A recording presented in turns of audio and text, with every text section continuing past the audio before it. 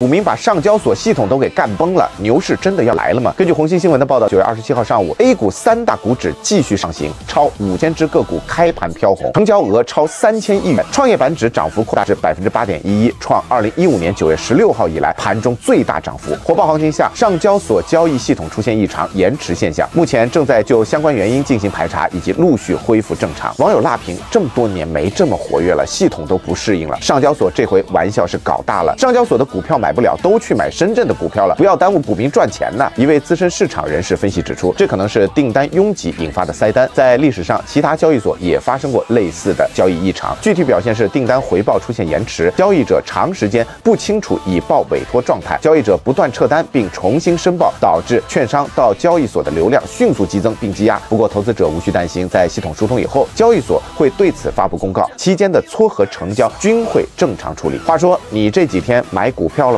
赚到钱了吗？